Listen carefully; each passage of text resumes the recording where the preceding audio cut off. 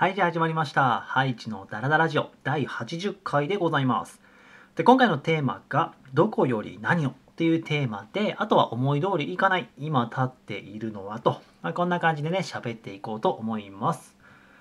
で、えっ、ー、とね、まあタイトルちょっと不思議なタイトルになってますけど、実はね、これ4月の1週目で喋ろうと、前々から決めてたんですよね。けれど、あの、この1週間ね、同じ相談をたくさんいただいたので、ちょっと1週間前倒し、先にね、して、今回これを喋っていこうと思います。じゃあ行きましょう。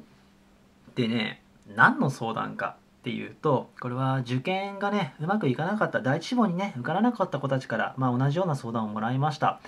例えばね、こう、やっぱり気持ち的に落ち込んでしまって、立ち直れないと。あとは、その、第二志望とか、第三志望ね、のここに行くことになったんだけど、第一志望じゃないからさ、だから、こう気持ちが入れないとか、もうもっと言っちゃうと人生終わっちゃったよなみたいな。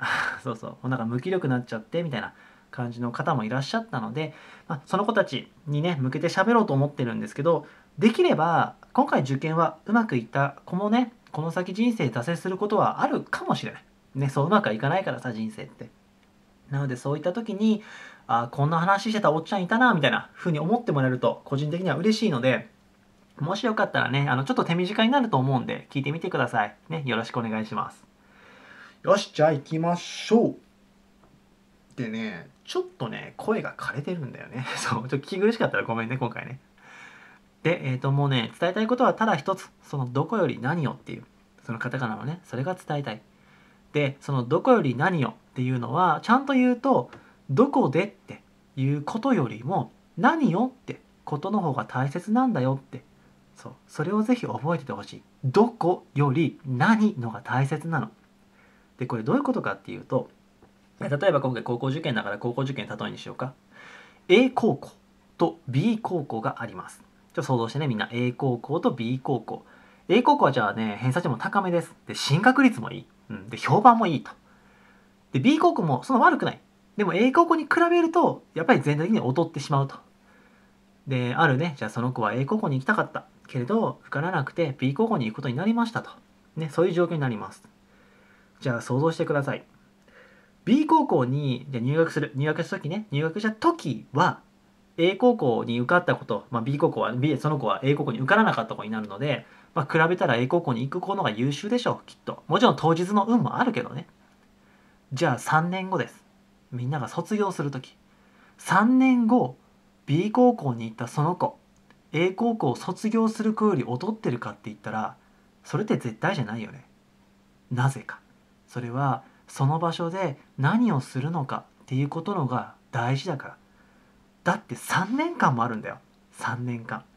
そりゃ変わるさ。A 高校に行ったら進学が約束されるか。そんなことは絶対ない。そんな都合いいことないからね。うん。B 高校に行ったら人生終わりなのか。そんなことも絶対ない。確かに第一志望に行けたら一番幸せです。個人的にも。その子の願望を満たしてる。そこに行きたい。そこに頑張りたいと思ってるから。けれどそれが叶わなかった。じゃあ人生終わりか？そんなことはない。確かに第一志望の場所じゃないよ。場所じゃないけどその場所で何をするのかっていうのはそれはこれから作る未来の話だから。それ次第でいくらでも変わります。でこれはね会社の一般な企業の方でも言えることでじゃあ例えばまだねみんなちょっと就活就職したと活動とかねイメージできないかもしれないんですけどこう CM でやってるねみんながこうなんだ企業の名前を出してみんながピンとくるようなもう有名企業あるでしょ？大企業です。そこをね入社するのって本当に大変でもう何十人に1人しか受からないみたいな状況なんだよ普通に就活ってね。でじゃそれを突破して受かった人たち超優秀です。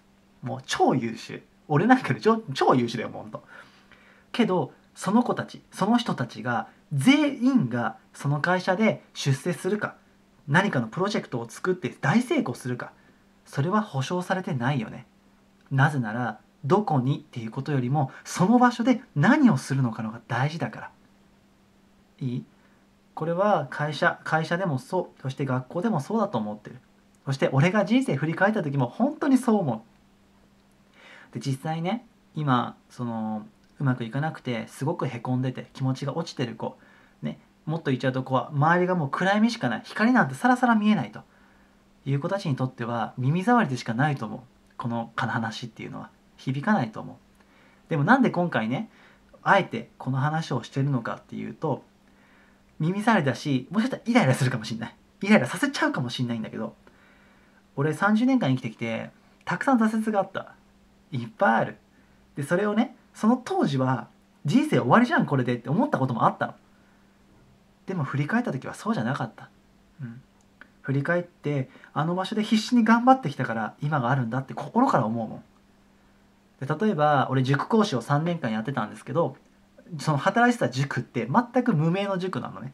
おそらくみんなに話しても全然ピンとこない。じゃあでも CM でやっているような有名塾さんもあるでしょ？じゃあ俺がねその塾講師やってた時にその有名な塾すごいねもうトップの塾ですよ。そこにいる先生が全員俺より優秀かって言ったら絶対そんなことないと思ってたの。なぜなら俺がその塾で自分がね働いてた塾でその場所で何をするかのがよっぽど大事だって。目の前に生徒がいる目の前に子供たちがいるって。じゃあこの子たちのために必死にやっていこうって思って3年間がむしゃらにやってきた。でその先にきっと今のこの YouTube の活動があるんだと思ってる、うん、だってあのところの経験がすごい生きてるからね今。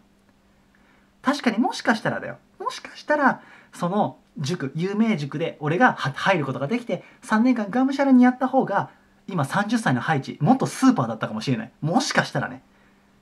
でもそれはもしかしたらの範疇を出ないもん。だからそんなこと考えてて無駄だし、うん、自分がその塾で3年間がむしゃらにやってきてよかったと心から思ってるから。だから是非みんなもね一番志望したとこじゃない希望したとこではないと思う。けれどその場所で何をするのか。それは勉強にしたってそう遊びにしたってそう恋愛にしたってそうだよ。友人関係だってそう。どう工夫するかで十分楽しくなるし十分自分が行けなかったところそこに行く子たちを抜くことだってできる。っていうふうに考えてほしいなと思っております。いい？思い通りいかない時はそう考える。どこでじゃなくて何をするのか。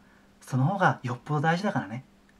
そして一番最初最後にね書いてる今立っているのはみんながその入った第志望入学入学する子第2志望第3志望に入る子いろいろいます。いるけど今みんなが立ってるのはスタート地点だからそこは。ゴールじゃない。いい。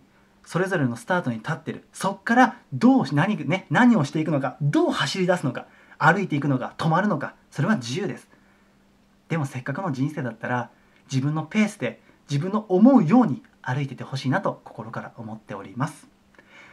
ではちょっとね手短になりますが今回はハイチのダラダラジオ第80回テーマ「どこより何を」という感じで喋らせていただきました、えー、今回もねここまで聞いていただいて本当にありがとうございました。で次回はちょっとですね今回これを喋ったので少し告知をするかな。あの活動とかではないんですけどちょっとみんなにとって特に動画を使っていただける方にとって便利なものをちょっと紹介できるかなと思っておりますのでもしよかったら次回の方も聞いてみてください。では今回はこれで終わります。以上です。ありがとうございました。